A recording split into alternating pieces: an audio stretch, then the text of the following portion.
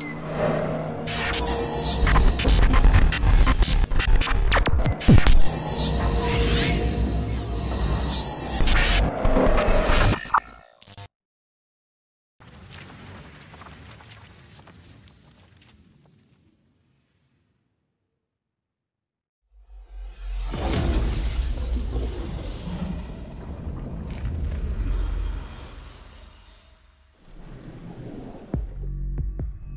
Ten centuries is a long time to remain unconquered.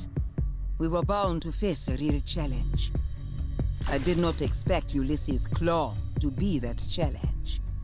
Nor did I expect that the Avengers would be on their way here. Will they help us? Or hinder us? T'Challa is still a new king. But he is everything a Black Panther should be. Like his father before him. King T'Chaka was a great leader, an impeccable Black Panther. And yet, his death left deep scars on T'Challa's soul.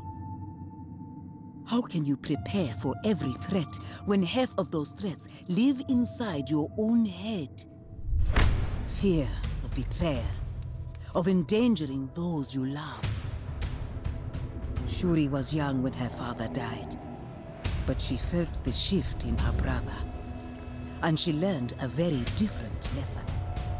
If she had challenged King Suyan, how different would Wakanda be?